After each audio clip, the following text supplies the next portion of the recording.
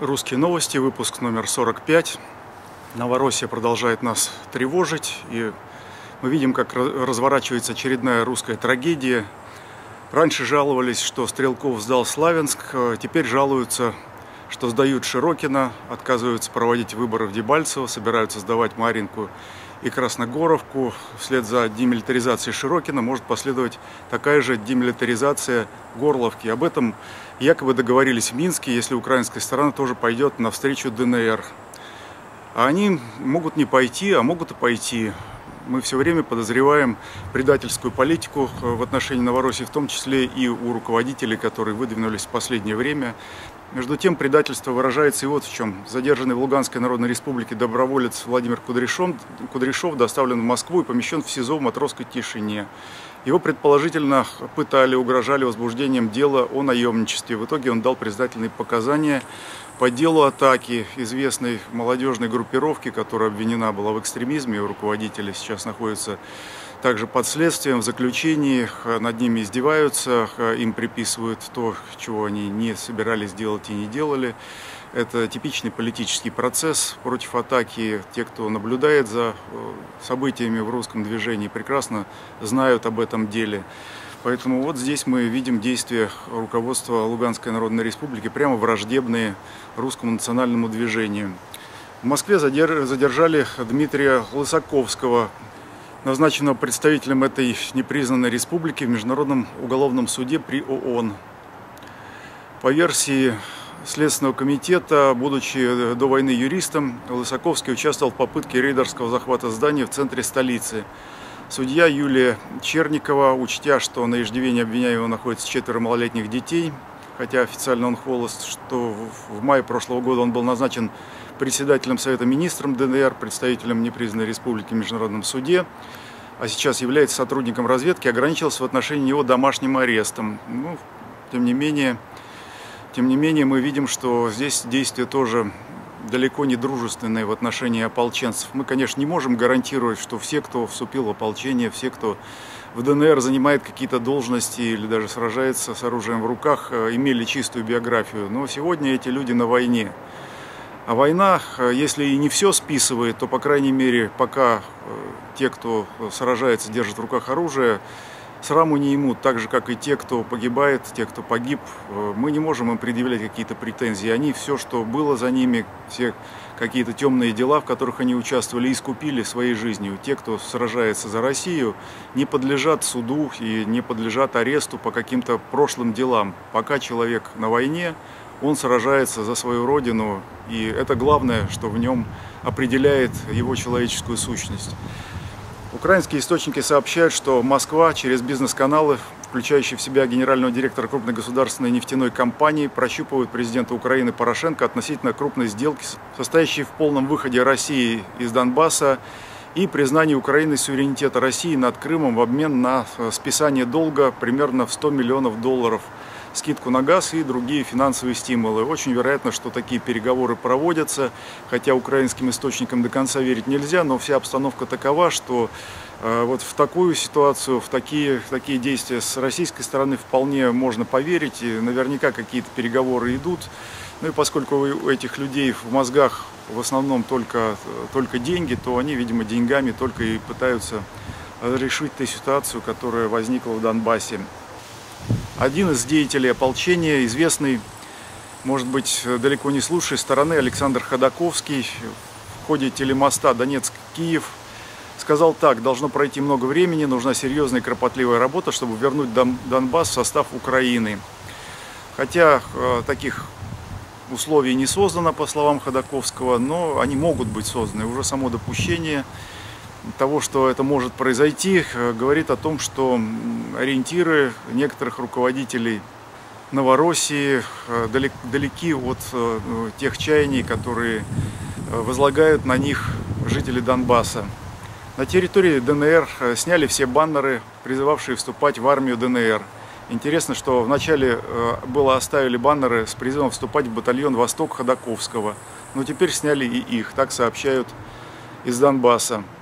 А у ополченцев Маринки отняли РПГ и оставили их только с калашниковыми по 4 рожка к ним. Это на передовой. Комендантские э, силы в самом городе имеют вдвое больше рожков на каждого бойца. Ополченец пишет, услышал тут краем уха и ребятам рассказал, что к нам едет очередной ревизор.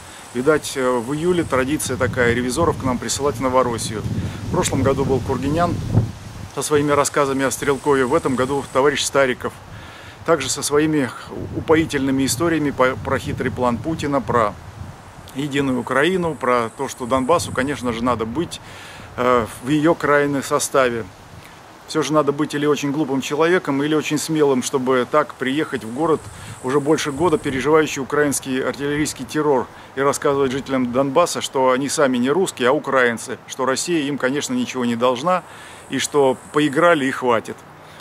Вот, э, Старикова должны встретить э, там в Донбассе 14 числа, 14 июля. Посмотрим, какая это будет встреча, насколько она будет теплая и сколько понадобится Старику охраны чтобы за свои гнусности не получить по сусалам.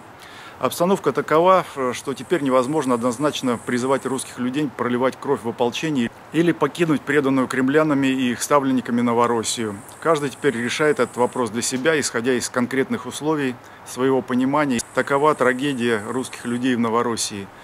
Защищать ставленников Кремля и их интересы совершенно невозможно – но кому-то невозможно и бросить свое дело, и оставить без прикрытия Донецк, Луганск, другие территории Новороссии, еще не захваченные карателями, потому что там будет бойня. Она, собственно, уже идет, и мы видим, как относятся к мирным жителям те, кого послал Порошенко, якобы в контртеррористическую операцию. Это массовые убийства людей, массовые преступления. Может быть, не настолько массовые, как на настоящей войне, но тем не менее людей расстреливают из установок залпового огня. Это геноцид, и нет сомнения в том, что Порошенко продолжит этот геноцид, который осуществляется по всей территории Украины и на той ее части, которая сейчас э, защищается ополченцами.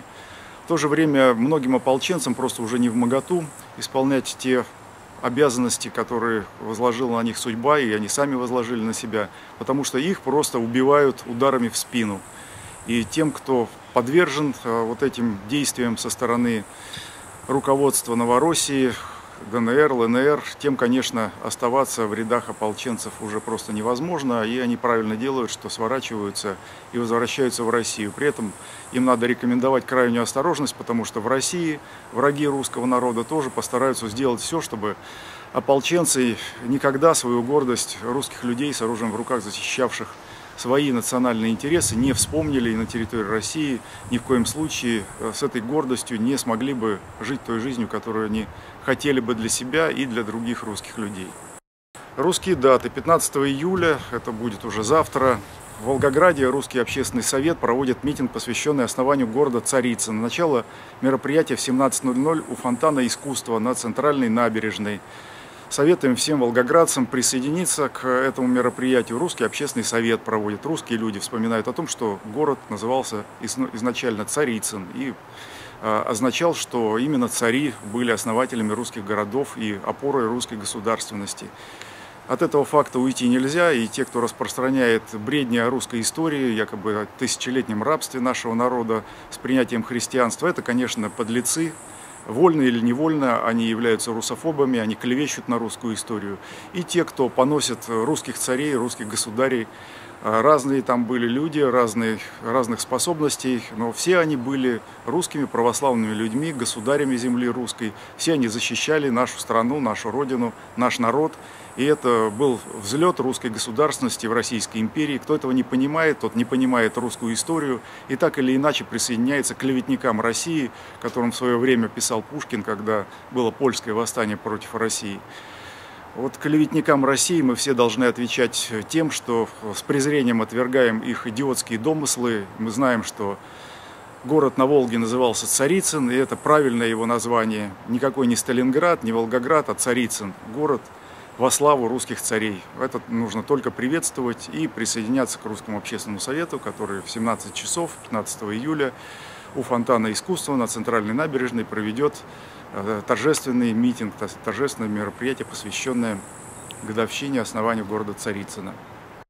По-прежнему большевики правят Россией. В Москве помимо станции метро Войковская появится еще один транспортный объект с именем цареубийцы. Городскими властями принято решение назвать новый объект инфраструктуры, строящийся остановочный пункт Московской кольцевой железной дороги именем террориста и деда-убийцы Войкова. На общественные слушания вопрос о названии транспортного узла не выносился. Стройка идет полным ходом, а на платформе уже установлены таблички с названием «Войковская». Ну, кто не знает, Войков один из организаторов убийства царя, государя, императора Николая II и всей его, семьи с детьми и слугами.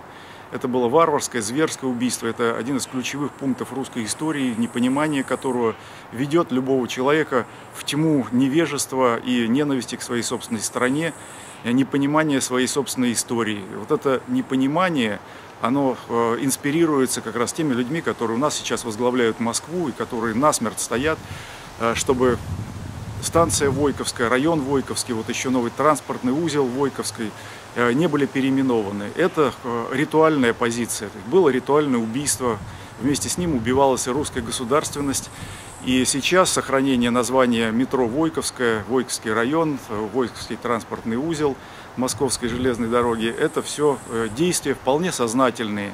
Как было сознательно предпринято действие по захоронению так называемых екатеринбургских останков, когда не было доказано, что они действительно принадлежат Николаю II и его семье, э, это тоже было ритуальное действие для того, чтобы закрыть вопрос. Нам, русским людям, нельзя дать этот вопрос закрыть, и негодяям, которые продолжают символически оскорблять русскую историю, прославляя имена где-то убийц, э, нам надо сопротивляться, в том числе и тем, кто пытается сейчас вернуть памятник Дзержинскому на прежнее место, вот этим кровавым чекистам, это памятник им. И поэтому мы должны понимать, что Дзержинский и его памятник – это символы уничтожения русского народа, истребления, массового истребления русских людей. И кто не понимает этого, тот, видимо, не понимает свой собственный, собственный народ, может быть, даже отрекается от принадлежности к этому народу. Им важнее большевизм, сталинизм, ленинизм, все эти измы, которые так тяжело отозвались на судьбе нашего народа. Вот. И все здравые русские люди, конечно, должны сопротивляться и восстановлению памятника Дзержинскому, и существованию таких названий, как метро Войковское или транспортный узел Войковское, и другим э, должны выступать против э, других имен на картах наших городов, на картах, на, на картах э, нашей страны, где есть по-прежнему Свердловская область, Ленинградская область, где множество улиц, городов, площадей названы именами убийц – живодеров, э, садистов, врагов, самых настоящих, самых отъявленных, кровавых врагов русского народа. Пока не будет зачищено пространство, пока улицы наших городов не будут названы именами великих русских людей, а не врагов русского народа, мы должны считать, что в Кремле сидят так называемые поляки, которые хотят смерти нашему народу, которые хотят уничтожения России, э, исторической славы. Они хотят, чтобы все было загажено вот этими именами русофобов, врагов русского народа.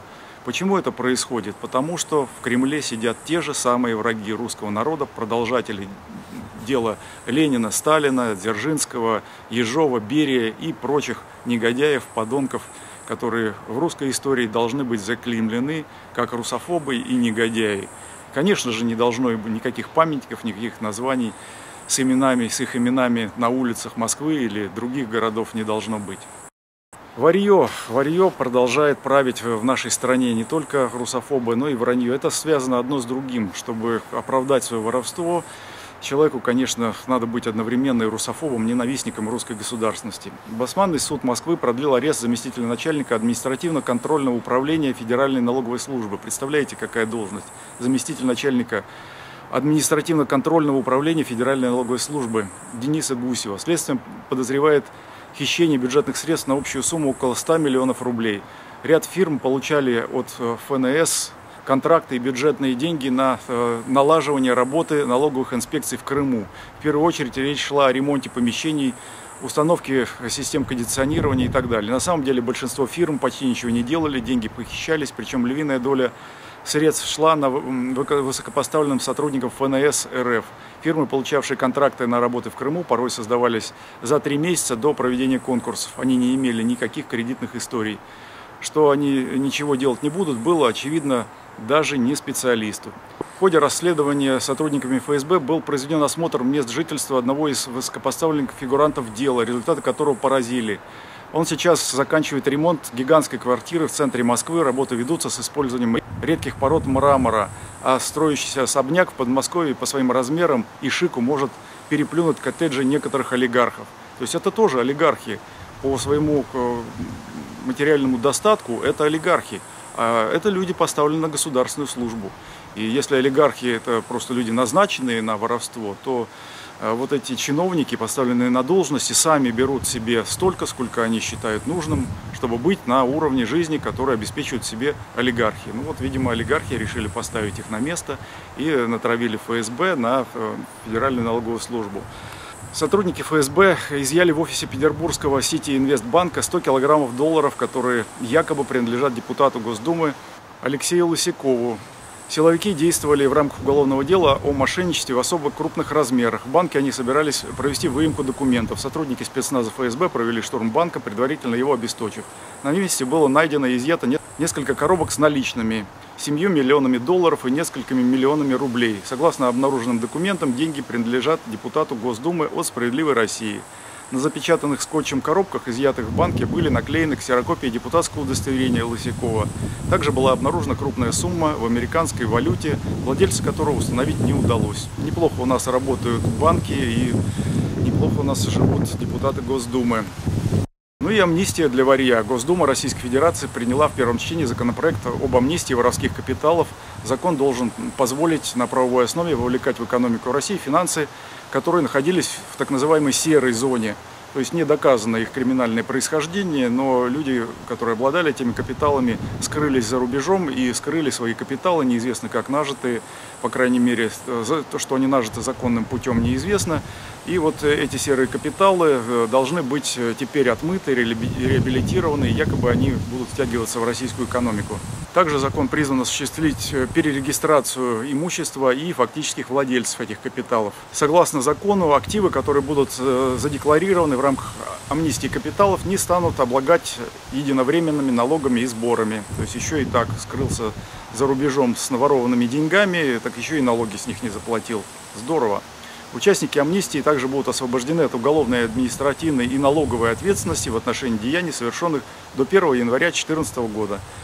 Данные декларации нельзя использовать в качестве основания для возбуждения уголовного дела или как доказательство в рамках уголовного дела.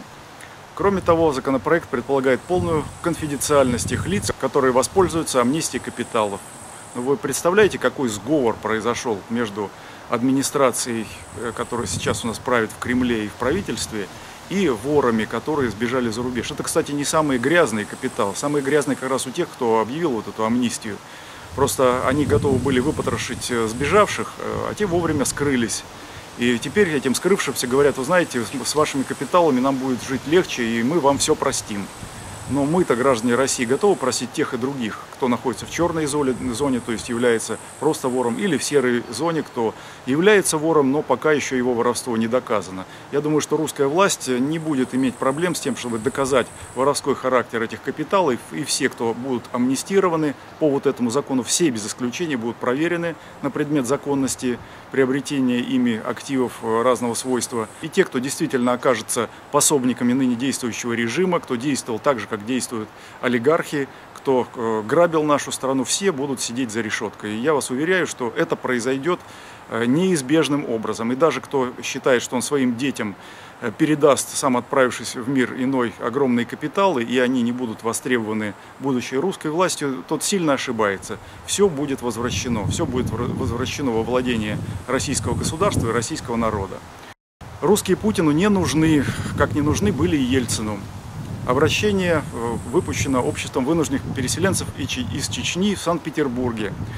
Обращаются к вам русские граждане, покинувшие Чеченскую республику из-за войны 20 лет назад. Нас, наше же государство, закидывало бомбами, нас вырезали чеченские боевики. Во время войны мы потеряли жилье, все имущество, и никто из нас за 20 лет не получил полное возмещение за утраченное жилье и имущество. Правительство нас, более 300 тысяч беженцев, сделало бомжами. Мы изгои в собственной стране. Большинству из нас уже далеко за 50. И пережив ужасы войны, а потом скитаясь по улицам нашей Родины, мы уже ничего не боимся. В результате нашей борьбы и многочисленных обращений были даны президентом поручения правительству о разработке постановления о возмещении причиненного войной ущерба в полном объеме. Поручения были 5 сентября 1998 года, указ президента, 4 августа 2006 года, поручение президента Путина уже правительству решить проблему социальной защиты граждан, пострадавших в Чечне. 15 июня 2007 года поручение президента Путина председателю правительства Фродкову, считая проблему чрезвычайно актуальной, прошу представить предложение в кратчайшие сроки. 20 сентября 2010 года поручение президента Медведева. Ни одно из этих поручений не было выполнено. Министерство финансов ссылается на отсутствие денежных средств в бюджете. Есть такой документ, хотя по закону мы имеем право на возмещение вреда. Данная проблема крайне неудобна нашей власти, ее игнорируют. На настоящий момент мы вынуждены обращаться в судебные органы на бездействие правительства. Но защитить свои права в судах, в кабинетах чиновников до сегодняшнего дня не имея сильной юридической поддержки, поддержки, мы не смогли. Просим оказать юридическую информационную помощь, пусть даже любым советом компетентного юриста, просто чем можете, помогите. Это обращение к нам, гражданам, может, правительству бесполезно обращаться. С уважением, руководитель организации Блудкина Валентина Ильинична, Малиновская Елена Петровна, Якунина Анна Петровна. Я могу сказать, что занимался этой проблемой, когда был депутатом Государственной Думы. Конечный итог этой проблемы крайне неутешителен. Ну, во-первых, правительство всегда стояло на позиции, что чеченцам особое отношение, русским угнетение. Эта э, позиция не изменилась с тех пор.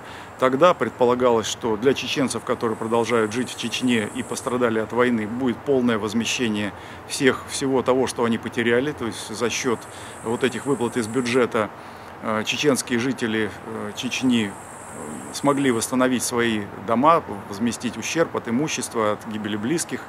А русские не смогли, потому что предполагалось, что выплаты русским, бежавшим из Чечни, э, испытавшим на себе все ужасы войны, причем войны действительно с двух сторон, на них нещадно сыпались э, бомбы и снаряды и со стороны федеральных сил, и их изничтожали, убивали, издевались над ними чеченские бандиты. Э, и вот этим людям не выплатили, или некоторым не выплатили вообще ничего, потому что им говорили, за документами отправляйтесь в Чечню, привезете документы на свое имущество, вот тогда мы их будем рассматривать.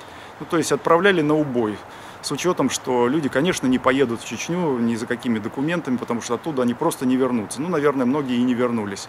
Ведь вырезали целыми семьями, уничтожали целые поселки, целые э, села, вырезали, изничтожали. И теперь вот отношение Э, тем, кто пострадал от войны в Чечне, ничуть не изменилось. Было выпущено специальное постановление правительства, в котором было сказано, что проблема закрыта, больше никаких выплат не будет.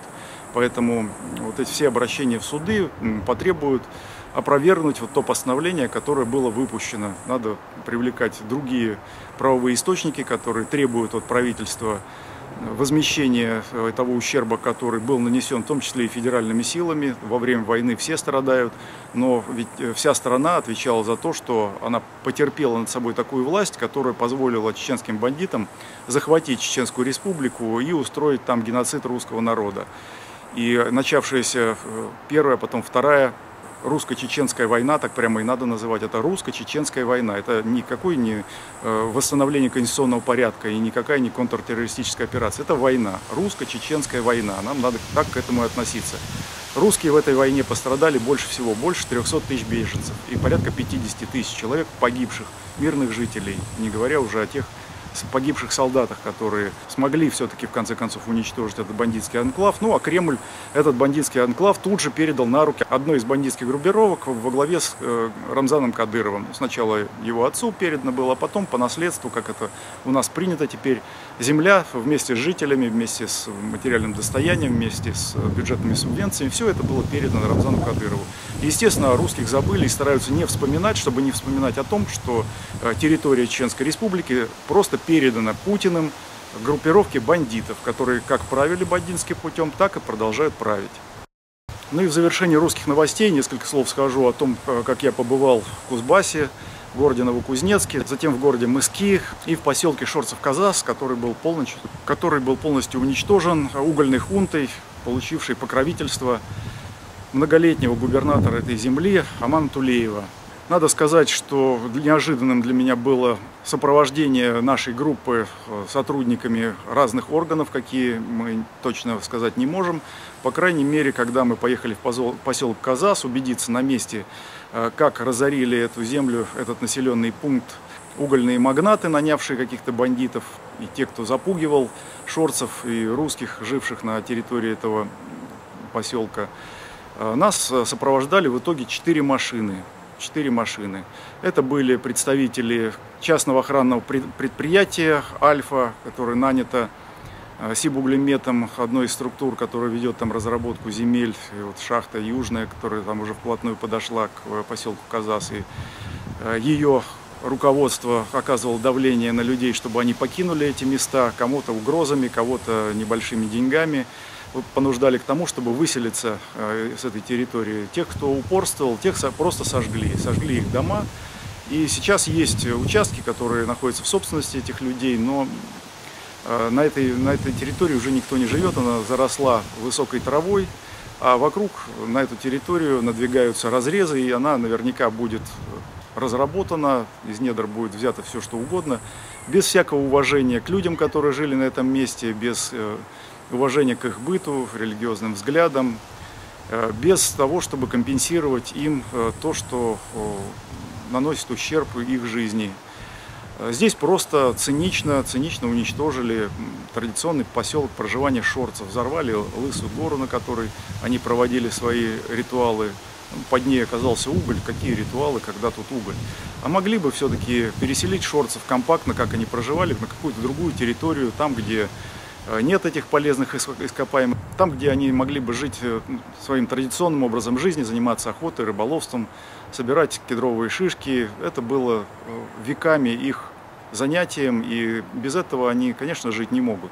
Ну и русские люди ведь тоже подвергаются совершенно точно такому же преследованию, точно так же цинично к ним относятся, даже когда можно и не так уж дорого провести цикл мероприятий, с одной стороны, природоохранных, которые как-то компенсируют э, те безобразия, которые делают угледобывающие компании с нашей землей, так и э, те мероприятия, которые связаны с переселением людей в места, где они могут обитать.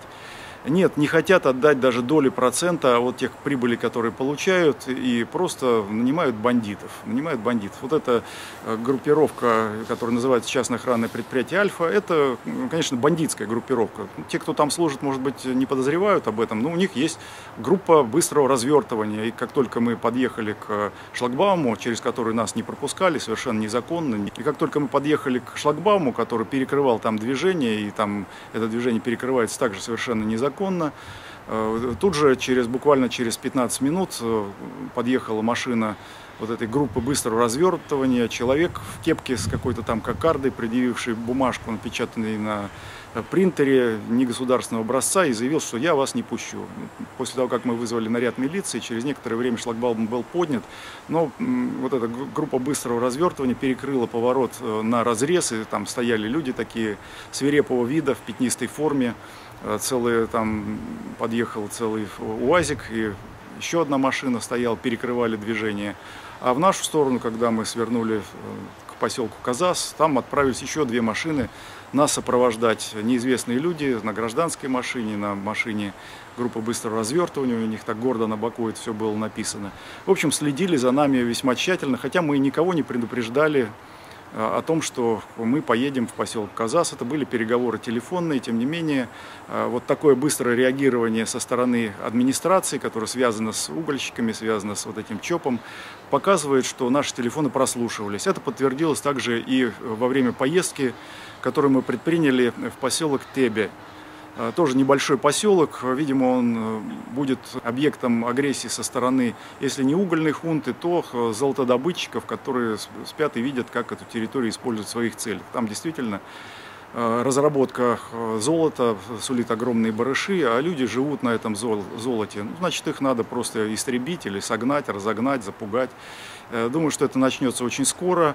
А пока э, мы ехали в поселок Теби, оказалось, что э, каким-то образом это стало известно администрации области или района.